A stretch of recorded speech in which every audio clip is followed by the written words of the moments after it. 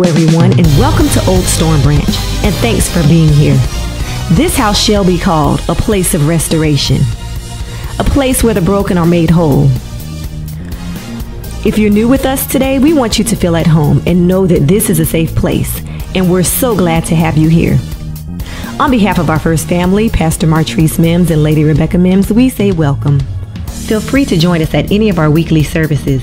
Sunday school is at 9 a.m., morning worship begins at 10, and our midweek Bible study is at 11 a.m. and 6:30 p.m. We believe God has something unique to say to you, and our hope is that you feel his love stronger today than ever before. Thank you again for being with us, and again we say welcome to this place. Givelify is giving simplified. Givelify is the simplest, most beautiful way to give and track donations to the place of worship or charity of your choice. You're not limited to the cash you have on hand. There's no need to write checks, and there are no complicated forms to fill out or text message codes to remember. Givelify automatically pinpoints your location and intelligently identifies the fundraiser, worship service, or conference you're attending without the need to search. Since Givelify automatically detects where you are, making a donation can be completed in as few as three taps. Tap 1. Use one of the pre-configured denominations to choose your donation amount. Tap 2. Select the campaign to which you'd like to contribute. Tap 3. With your stored credit or debit card, complete your donation in one tap and get an immediate donation receipt. Setting up recurring giving is a simple two-tap process. Tap the frequency you'd like, and you'll never forget to make your gift. Givelify lets you easily see your complete donation history. Mark the place of worship you normally attend as your home for quick one-tap access. Givelify. Tap, give, done.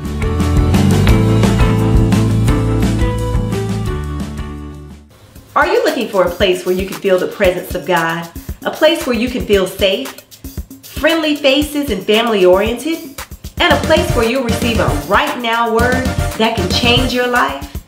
If so, the branch is the place for you. We are a church without walls that is kingdom building to serve the community.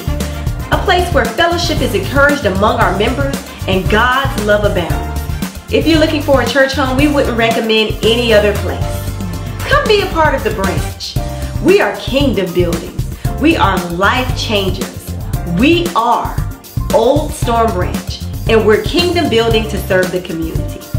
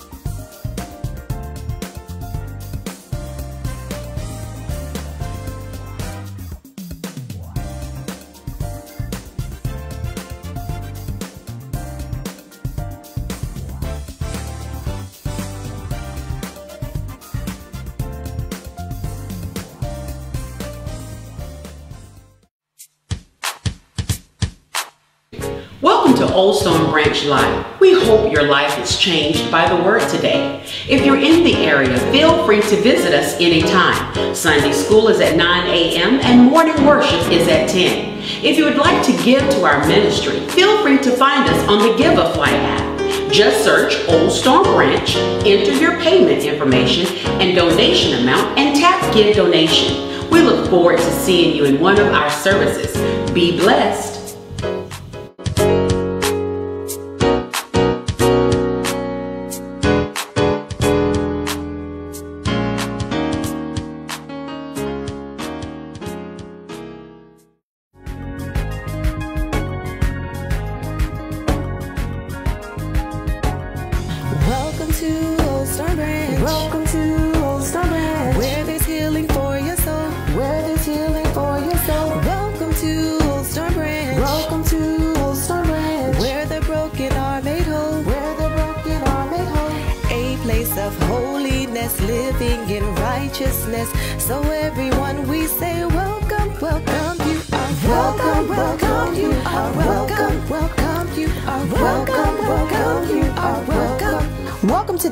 Branch Baptist Church.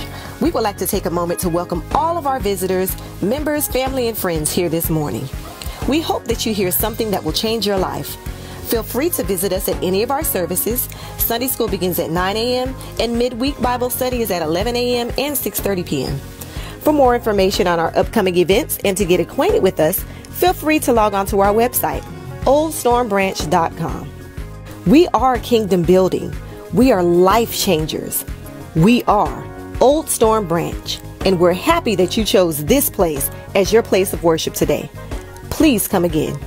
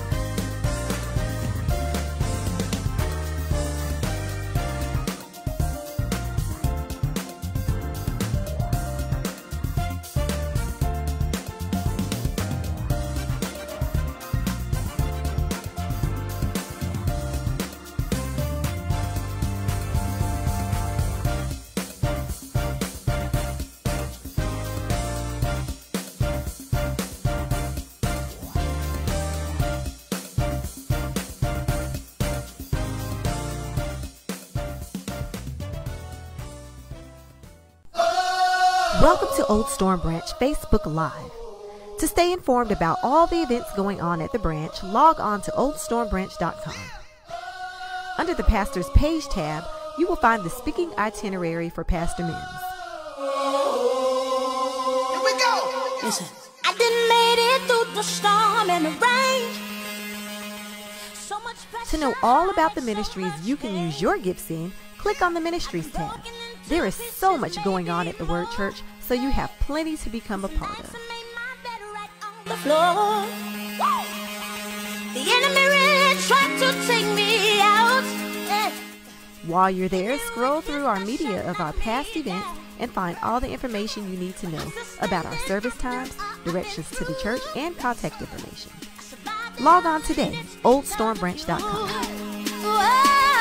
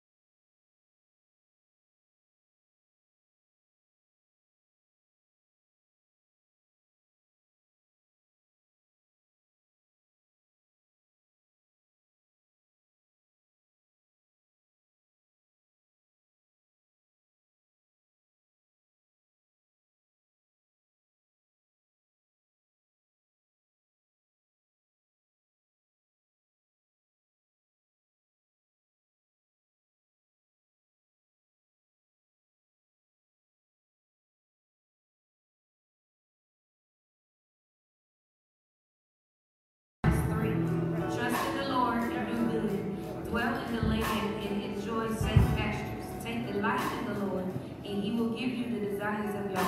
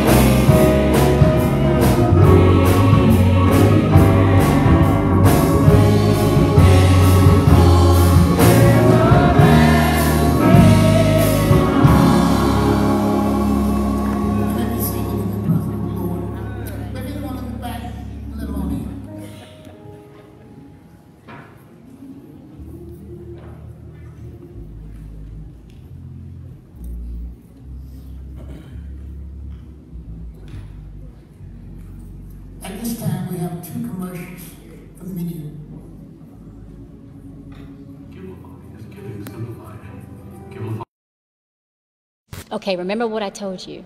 Be your own boss. Love yourself. Get up and dance. Level, Level up. Level up, level up, level up, level up, level up, level up, level up. That time of year again. We're going back to school. And what better way to kick off the school year than with a weekend bash at Old Storm Branch? It all begins Friday, August 2nd at 7 p.m. with a back to school revival. We'll have special guests like Brittany Hatcher from Augusta, Georgia. The Gospel Warriors will be dancing, and youth pastor Dr. Addison Kennedy from Changing a Generation Full Gospel Baptist Church in Atlanta, Georgia will be here to deliver the word. So come on out on Friday and invite a friend as we say a special prayer over our youth to start the school year off. The festivities don't stop there, but on Saturday, August 3rd at 2 p.m., there will be a back to school bash. There will be food, fun, games, and a school supply giveaway.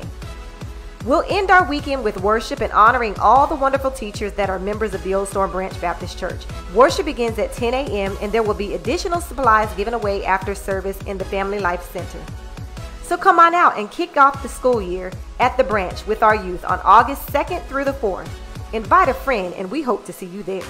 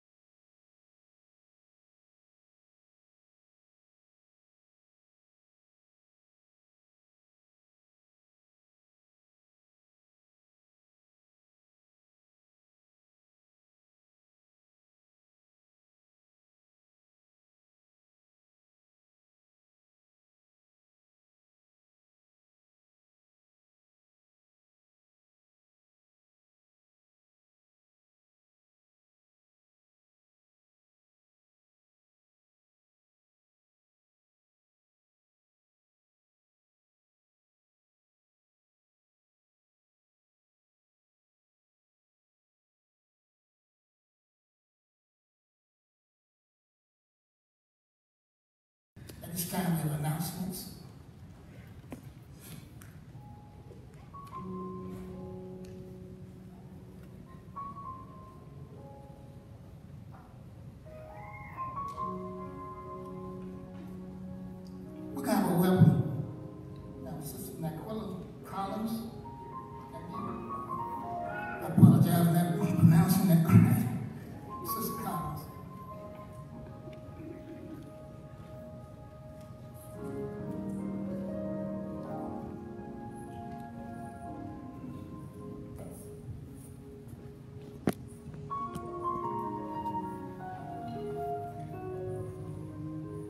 Church.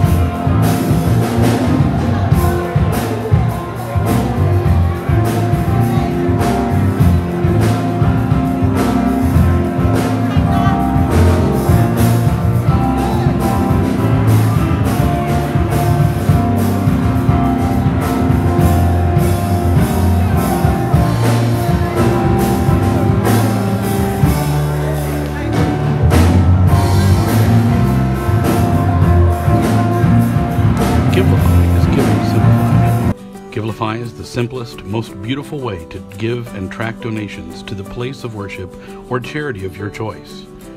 You're not limited to the cash you have on hand. There's no need to write checks, and there are no complicated forms to fill out or text message codes to remember. Givelify automatically pinpoints your location and intelligently identifies the fundraiser, worship service, or conference you're attending without the need to search.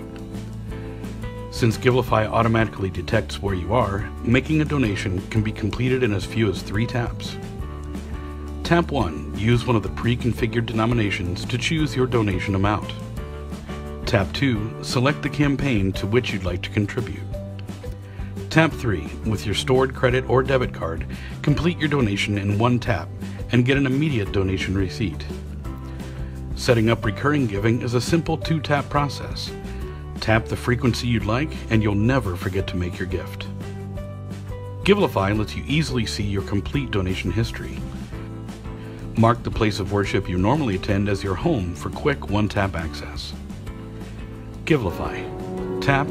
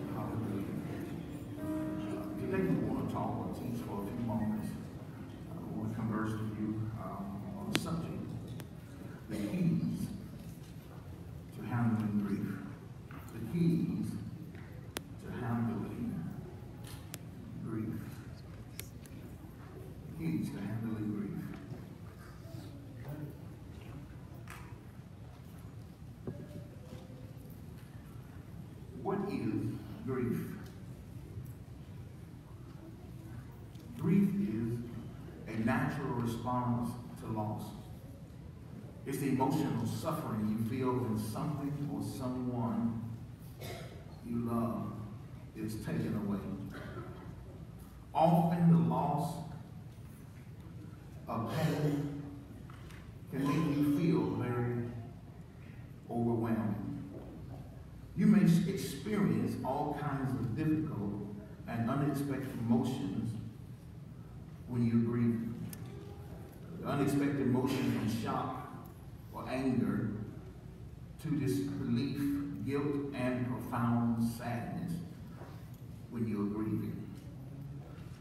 The pain of grief can also disrupt your physical health, making it difficult to sleep or eat or even think straight.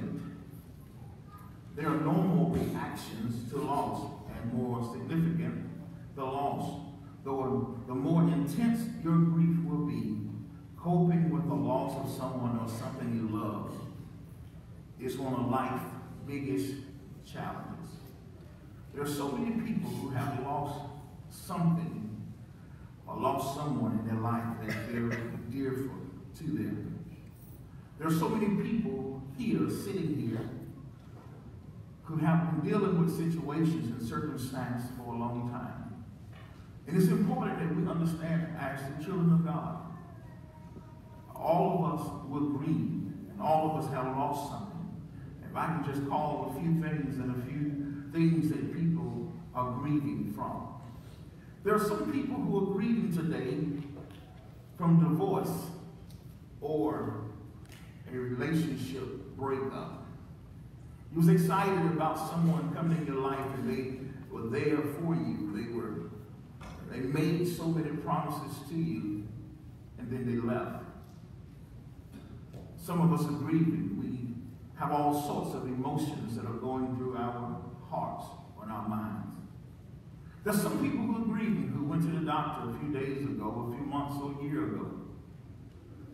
They was in great shape and then went to the doctor. They said their health was no good. Gave them the bad news that they had cancer. There's someone here who went to the doctor. Everything was fine. What he told you just devastated you. Just like the lady with the issue of blood who went to the doctor. When she went to the doctor, the doctor said, lady, you're hemorrhaging. And there's nothing that we can do for you. Her body was sick, and when we have loss of health and things were going good, it can cause us sometimes to grieve.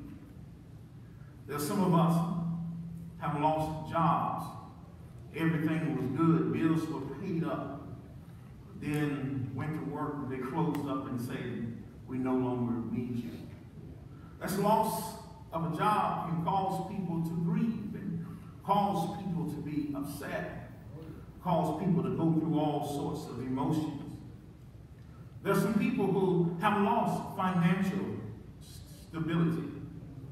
They had it together, but all of a sudden, then the bottom fell out. There's some people who are sitting here who are excited about having a baby.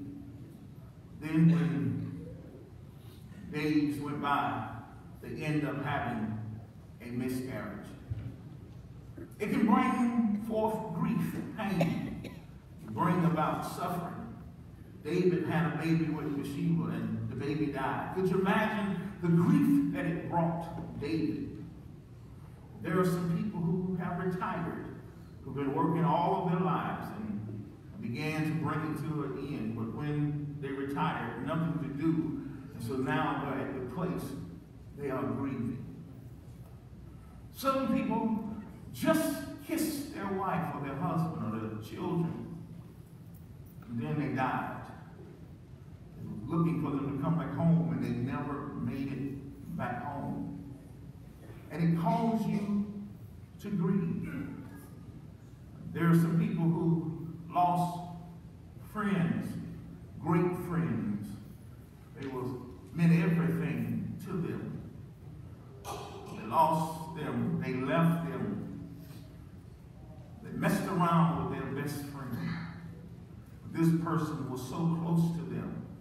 They lost friendship and it caused them grieve. There's some people who have lost pets, dogs and cats. I remember one time I went to a friend, they had a dog, and the dog had been in their life for 15 years. And, and when they called me and said, Pastor, we're having a funeral, we would like for you to come.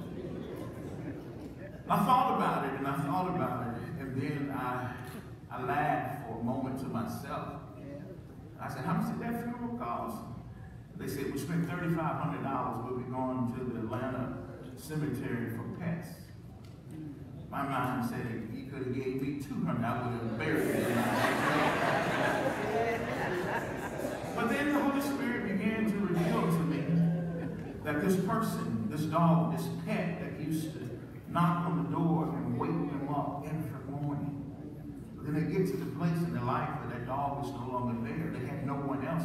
He had been there for 15 years, and then I began to see things from another person's perspective. Because when Jesus said, the word said, rejoice with those that rejoice and weep with those that weep. To me, the dog didn't mean anything, but just that dog meant everything to them. I had to put myself in their predicament. Saints of God, there are so many of us who are here at church hurting. If I can say, for the last five years, I've done 50 funerals. And if I can tell you, it hurt. But I never had time to deal with it because it was one funeral after the next. Not only one funeral after the next, I buried my cousin, my nephews, who had died in gun violence.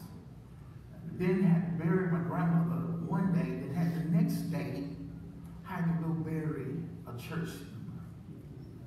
I had to bury people. Now, if I bury people, then I leave there preaching revivals, and I had never, I had no time to just to heal. And there are so many of us who are grieving. We shout good and we praise good and we know how to uh, put on the best look in front of everybody. If all of us would be honest, we hurt. If all of us would be honest when you lost that loved one, uh, you didn't really want to praise the Lord. You, you didn't want to say hallelujah. You wanted to be like Florida Evans. You wanted to get to the place that, that you just, it hurts. And I want to tell you, I learned when you, if you're going to heal and you're going to grieve properly, you're going to have to uh, cultivate your relationship with God because it hurts. You've been married 20 years, and now they are not there. You, you, your children been in the house 18 years, and now they're going off to college, and now you are grieving. It hurts. If anybody would just be honest, all of us go through some things. But can I help you? I was reading and studying, and one of the things I learned some myths about grief. Some people say uh, a myth is grief is a bad thing. It's not. Another myth is that all people grieve the same way. They don't. You should not be angry about a loss, and that's a myth. Something you've been connected to for a long time. Uh, it's okay to get angry. But the Bible says, sin not. And one myth it says when you're grieving and you're going through some things, it said you should keep busy and try to think about only pleasant things.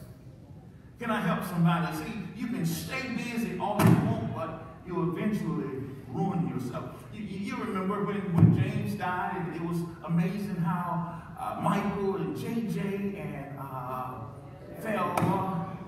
and, and, and, and Florida was just running around the house, and she was just doing everything, smiling and, and, and entertaining everybody. Then the kids were concerned about mama. They were saying, Mama, why you, what's wrong with you? What's, what's wrong with mama? But mama tried to stay busy. But thanks to God, but then when she got by herself and it was quiet now, and now she was hurting, then she began to Some people say over the time you will get over the loss, and that's a myth. You must be strong and try to keep your feelings under control. I know you're hurting, I know you're going through. It's okay to cry. It's okay to release. It feel good when you release sometime, and, and I'm a big crybaby. I have to let go sometime because if all the stuff I carry my load and I carry your load, and, and I feel better when I just let it go. If I can just tell somebody, yeah, it, it will get better, but but but but but but you have to do things to make it better. My brothers and sisters, another myth is it is best not to focus uh, on it or talk about the loss. It's okay to talk about the loss. It's okay to be honest about the loss and you just trying to push it out and push it out. If you lost a person in a relationship you've been dating, but if you if you don't talk about it, what happens is you will take that same stuff to another relationship. They don't even know Bill, and you always talking about Bill, reminding them of what Bill, and they trying to figure out who Bill, and, and Bill hurt you so bad, and you are grieving, but never talked about it. When my grandma died a few years ago, you know, I, I, I was having one in the family. I was preparing for it, but there was a point in my life that I had to talk about it. It hurt like it did. It hurt, but I had to still push and persevere. And I need to speak to somebody. God is saying to us, be careful what people say about grief. Grief, my brothers and sisters, uh, when grief is resolved, it never comes up again. It will come up again. Saints of God, another myth, children grieve like adults. Another myth is if you have a strong faith, the grief will not be as intense. Care how much you love the Lord, trouble is going to come. Reverend Mackey, this is what makes me mad about some people sometimes when when they everybody got all the answers. When you grieve and you done lost your loved one, you done lost your children, you you you lost a relationship, you done lost your job. First thing your cousin say, I know how you feel. You really don't know how I feel. The next thing they want to be so spiritual, they say, uh, you're never giving anything that you can't deal with. God ain't going to put no more on you able to handle. But, but the first thing, and these are true statements, but this is what people say. They say time heals all wounds. Some people will walk up to you and say, I know you're going through, I know you just lost something. He said, don't dwell on it. Somebody walk up to you and say, don't feel bad. This is my feeling. Let me feel how I want to feel right now. And some people will say, you've been in this place long enough. It's time for you to move on. Uh, no one knows where you are but you. I went to see my counselor one day a, a few months ago, and I just released to him, and, and, and I was telling him how I really feel. He said, go ahead, preacher, go ahead and say what you got to say. And I kept on saying it because every time, you know, you hear these super spiritual people, you know, it's time for you to move on. I, I, I, maybe I don't want to move on right now. Then once you just lost your loved one and lost your job, the first thing they say is probably all for the best. Then you done lost your loved one. I don't care if they're just 80, 85. And the next thing they say, well, he lived a full life. then somebody else will walk up and say, be grateful you had him or her with you so long. I'm gonna leave you, I'm gonna give you some keys to handling grief. Job was a man of integrity. He feared God. He loved God. He had a relationship with God. Satan was able to put things upon him because he got permission from God. If I can just speak to us, anything that we experience in our lives, it's no surprise to God. Because God is all knowing. Let me say this again Satan can't do anything to us unless he get permission from God. And, and, Job, and Satan was going to and fro, but then God said, Have you considered my servant Job? Job was a man of integrity, but then Satan said, Well, you're going to protect him. You, you, you're going to take care of him. Uh, but, but can I tell you, Job, a man of God who loved God, went through challenges just like us. He lost, watch this, his friends. He lost family. Look what he lost his stuff. He lost everything that he worked hard for. Could you imagine going to a funeral with eight children? Could you imagine going to where all your livestock, everything, uh, your houses will burn up? If we all can be real today, he, he was in a predicament. But not only that, when I say when you lose health, he lost health because uh, he had sores all over his body. Job experienced some things to me that was very devastating, and I believe he was grieving. But what helped Job so much was he feared the Lord. He had a relationship with God, and he talked to God. And God helped him through it. David was a man who loved God. David messed up. David lost uh, uh, a child. Not only lost a child, but his, some of his other children wanted to, to hurt him. Absalom wanted to kill him. And it was so much happened, and he was grieving. But if I can just talk to somebody who's sitting here, who's been going through, who's been fronting for a long time. When you learn how to release, it feels better. When you learn how to let go, it will feel better. When you you can't avoid hurts, you can't avoid pain. It hurts and it's going to keep repeating itself if you don't ever deal with it. I love God and I love God's people. I love the church and we uh, we do a lot of shouting, we do a lot of praising, we do a lot of worshiping, but we don't never address issues. One of the keys to handling grief, your loss, number one, you gotta be honest. Listen to what I'm saying. You got to be honest. Let me give you two of them. You got to be honest, but number two, you got to acknowledge your pain. Oh, I'm cool. I got it. It's I got it together. I got it. It don't hurt. I'll be all right. Yeah. This hurts. This is the most devastating thing that ever came my way. You have to acknowledge the pain so that you can be able to move forward. And some people say, well, don't question God. I, I beg to differ.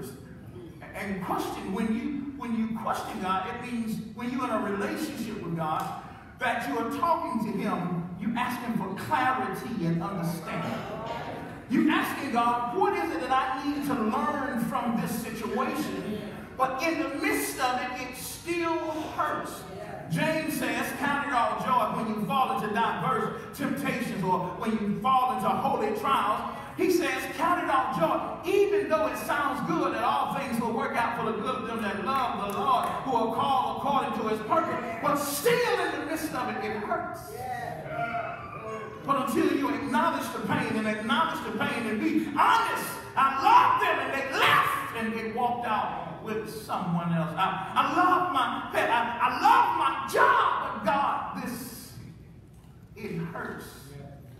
He said, the word said, be angry, but sin not. He commands us as believers that it's okay to be angry, but he says, sin not. When you're angry, God wants to be angry. Uh, he wants to be reformers. When we see a problem, we fix the situation so that we can move forward. Because if we don't, it damages us. David said in Psalms 32, He said, if I had not confessed my sins or my faults, he says, I would have waxed cold, old. If I can just say this, some of us, we're sick because we, we, we focus on what has happened too much instead of focusing on our God.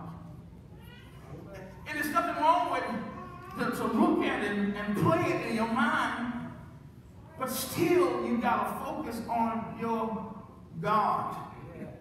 You, you got to acknowledge your pain, but number, number two, number three, you got to seek God for direction, draw comfort from your faith. Listen, I don't just preach and just read the scriptures. I read them because I know trouble is going to come. I know issues are going to come. But I got to draw, I got to draw comfort from your faith, and I got to seek God for direction. I got to move on, Lord. How can I move on from this situation? Because if we don't move on from the situation, we damage generation after generation, curses. And that's why we have to deal with grief properly. We have to break those generational curses that have been upon our families. And sometimes because we grieve improperly, what happens, it transfers those spirits. You got to seek God for direction and draw comfort from your faith. And, and I said this the other night when I was preaching at a revival. God does not want us to have giant faith, but he wants us to have genuine faith. Preach, man, I hear you, God. God don't want us to have uh, giant faith, but he wants us to be genuine. But if you're genuine, then he's going to help heal you. If you acknowledge him, he's going to direct your path. He's going to show you how to move forward, even in the midst of your grief. He's going to show you how to move forward from this situation. If I can just talk to somebody today, don't continue to go to church, be the church. Because if you don't deal with your grief, and this is what's happening in America, even our churches in our world, hurt people hurt people. And when you don't grieve properly, you will always begin to, to, to cause pain on others. There are people where, I know people right now, their spouse left them. They are so mean and so frustrated and they turn their anger out on everybody else.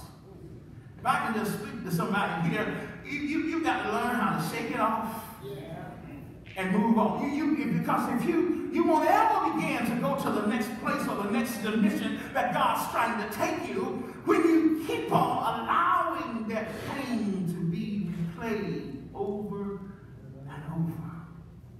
God can heal, God can heal, God can heal. He's able to heal. But, but sometimes, anybody ever been cut or had a, a, a, a scrape on their arm or fell? Yeah, that's what happened to me. That's why I'm a little dark in some places. I fell. and what happens when I fall, uh, uh, uh, it began to start healing. Uh, what's it called? A, a scalp? That's it. Y'all know that. The, the scalp but then sometimes it takes longer to heal because I keep playing with it. And haven't put any antibiotics in it. I keep playing with it, and then eventually sometimes it gets affected. But if you take care and nurture it, then eventually, watch this. Eventually, if you heal properly and do what you're supposed to do, that scalp eventually going to fall off. But then when it fall off sometime, it's still a scar, but it's healed. Can I speak to somebody today? God is wanting to do something, but you got to quit trying to help him. Quit trying to help him because when you try to help him, you bring upon infections. And what God wants to do, He's wanting, you, you got to understand, I got some scars and they still here. Some of them I did when I was uh, 13 and 14. They still here. They still here. It's not that the pain is not there, but what's this? The scar. And when I look at the star, it just reminds me of what God can do, His capability. It reminds me of how far He brought me. If I can speak to the church, our church, our church, our people, we're allowing grief to devastate us and it causes it isolate us and we never move to a new place. But but if you're grieving, how the keys to it? Be honest, acknowledge your pain, seek God for direction, draw comfort uh, from your faith. But can I help somebody today? You've got to seek out face-to-face support from people who care about you. Watch this. You got to turn to friends and family members. We try to do it by ourselves. You can't do it. Some days I need somebody who's gonna listen to me, who ain't gonna judge me if I cuss cause I hurt. They ain't gonna say a word about it. See the problem, we've got to seek out face to face to support. There are support groups that are out there, and we're getting ready to develop some in our churches to help people when they go through after a divorce, when they go through financial issues, when they go through the death of a loved one, because it's happening too much, and it's going to happen again. But you've got to seek out face-to-face support. You know, when things first happen, everybody in your house being nosy, everybody just sitting up being nosy, and then a month later, by yourself.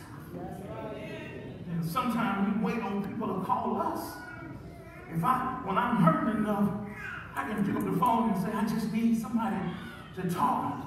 You know how the first lie that some people tell, if you need me, just call me.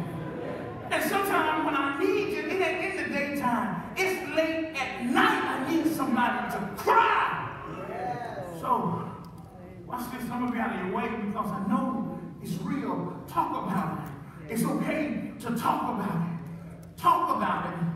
But understand and let God give you direction because if you don't talk about it and deal with it, it can take you out. Let's rewind back to the lady with the issue of blood. She lost a friend because she couldn't be around anybody. She lost her health. She was 12 years of being sick. She lost her health. But then number three, she lost her finances. Can that you see? Can you see the load? Somebody here today came loaded up today with all of the frustration.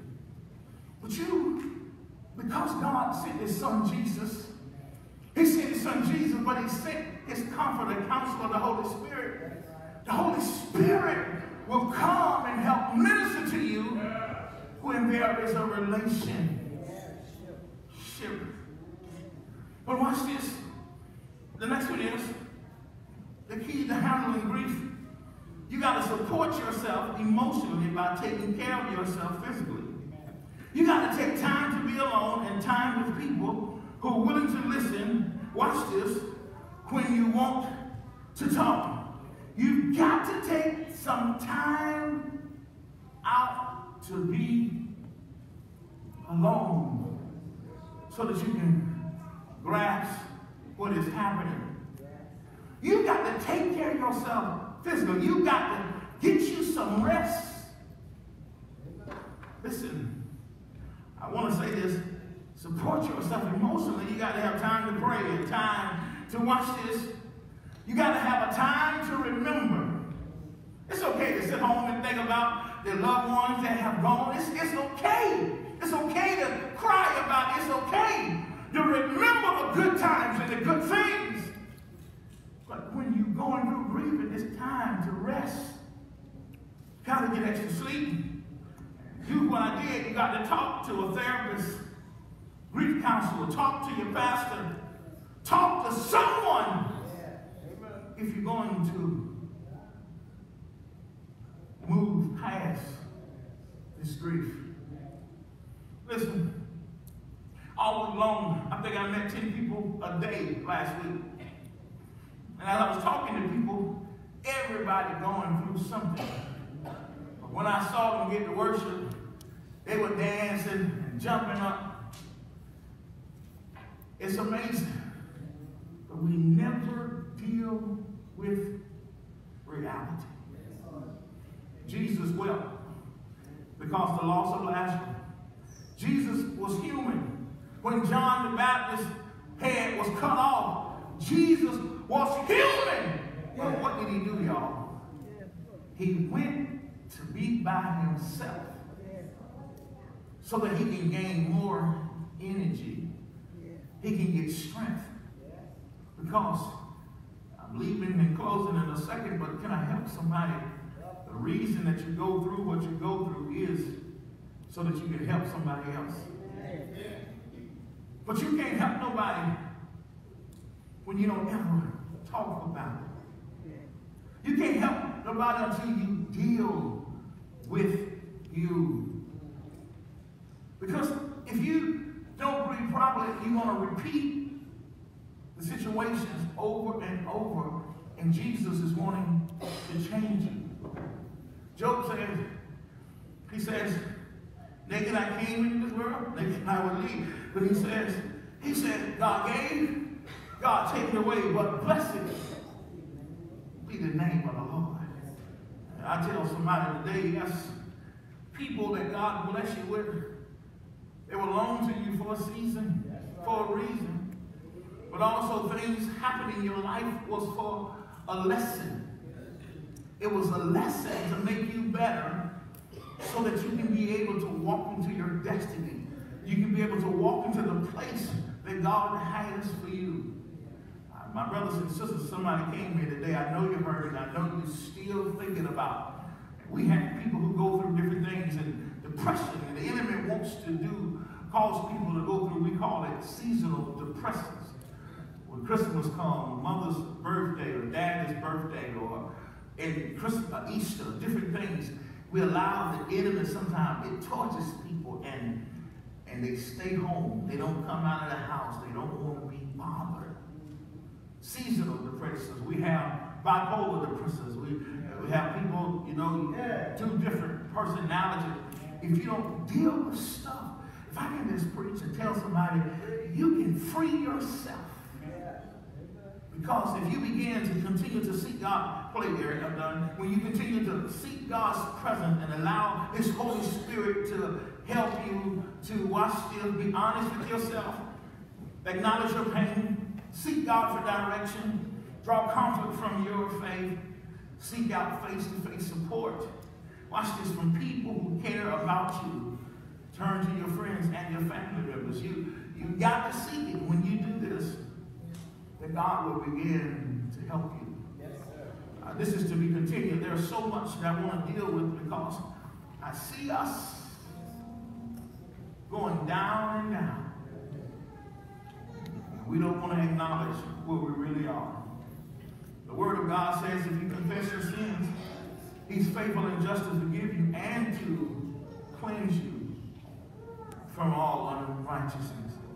Because Job kept worshiping, kept praising after his friends, after his family, after the loss of his stuff, God blessed him with more.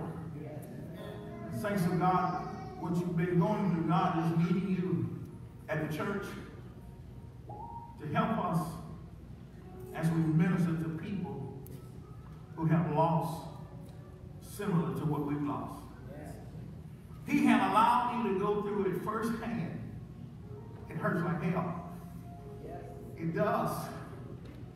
But as you begin to draw nigh unto God, He will draw nigh unto you. I know it hurt, but you serve a God who have died for you. You serve a God who died and went to the grave for you to make it better. You serve a God who, even the things that we thought was a loss, you serve a God who died, and when he died, he did this. And when you lost your loved one, he just, because he the first fruit of those who died. The ones who died in Christ. He says they shall rise first. Christ was the first fruit of them who died. But can I tell you, your loved one will rise again.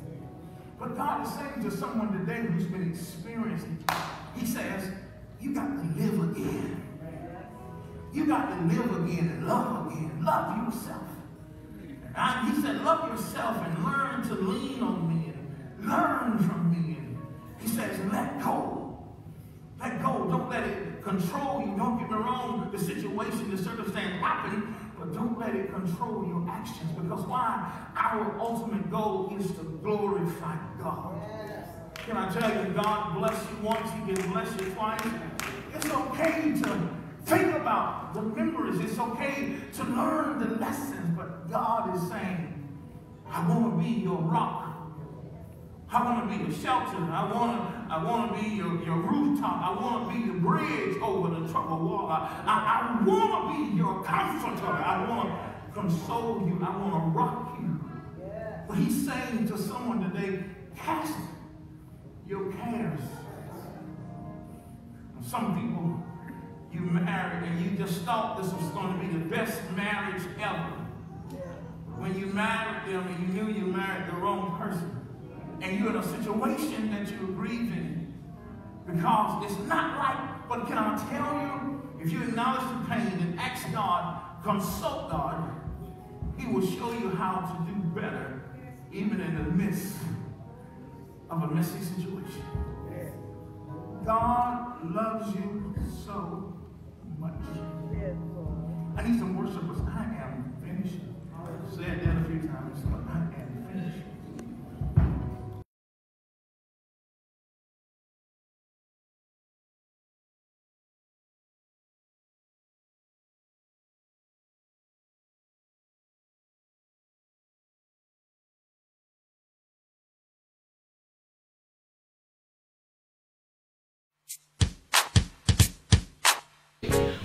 Old Storm Branch Live. We hope your life is changed by the word today. If you're in the area, feel free to visit us anytime. Sunday school is at 9 a.m. and morning worship is at 10. If you would like to give to our ministry, feel free to find us on the Givelify app. Just search Old Storm Branch, enter your payment information and donation amount, and tap Give Donation. We look forward to seeing you in one of our services. Be blessed.